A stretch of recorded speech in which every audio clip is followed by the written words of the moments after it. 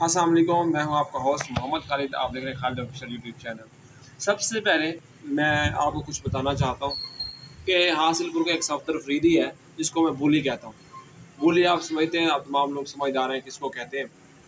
ये बोली बड़ाई साहब के पास तेरह हज़ार तनख्वाह, दो बोरी गंदुम पे काम करता था। जब ये हासिलपुर दुकान में बैठ कर होता था कि मेरे पास कुछ है नहीं।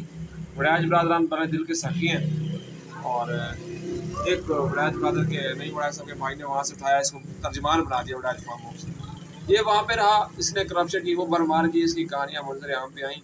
तो जनाब ने अपना खूब पेट भरा और जाके जो है आकलपुर में अपनी एक दुकान बनाई, अपनी शॉप बनाई जनरल स्टोर बनाया और वड़ैत साहब ने इसको करप्शन पर निकाल दिया। करप्शन पर ऐसा निकाला कि ठोकर मारी इसको निकाल दिया और फिर जनाब ये चले गए। वापस तो फिर ये कुछ दिन के लिए काफ लीग में शामिल हो गए। काफ लीग में चीमा लोटा बन गया तो जनाब ये कुत्ते वाली हुई।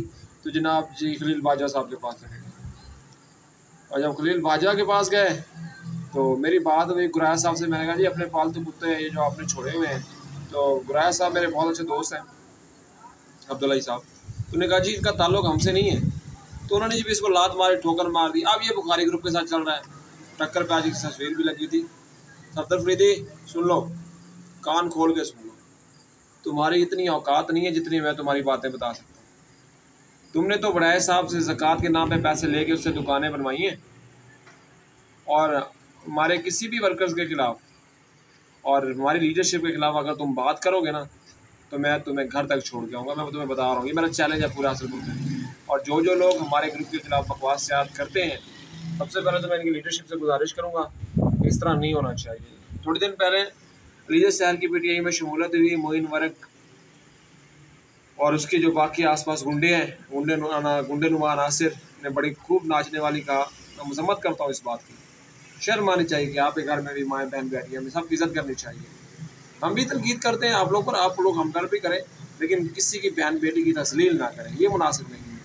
और हमारी लीडरशिप जो कि दबाव में आ जाती है ख़वान की, उनको भी चाहिए कि इनके खिलाफ स्ट्रॉन्ग होकर खड़ा करें, धमकियों में ना आया करें। और मोहसिन अकील साहब, थोड़ा सा आप भी ना अपने आप को इतना बड़ा लीडर बनाने की कोशिश ना करें, जितने आप बनना चाहते हैं। आप बेशक वर्किंग करते हैं आई मैं आई लाइक यू मैं आपको पसंद करता हूँ, लेकिन जिस तरह से आज आपने बातें की, इससे ज़ाहिर आ रहा था कि आप किसको प्रमोट कर रहे हैं। और सबसे फरीदी, जब तक तुम माफ़ी नहीं मांगते, तेरी और मेरी जंग जा रही है। तो मुझे कोशिश कर बदनाम कर सकता लेकिन मैं तेरे खिलाफ सच बोलूँगा और तुझे सबूत ला के दिखाऊँगा। तू तो दो बोरी गंदम मांग गया था बच्चों को लाने के लिए। बड़े बरादर, बड़े सखी लोग हैं तुम्हें दे दिए। लेकिन तुम्हें इज़्ज़त रास नहीं आई। हद से ज़्यादा इज़्ज़त लोग किसी को भी रास्ते सत्तर फ़ीसदी क्यों आए?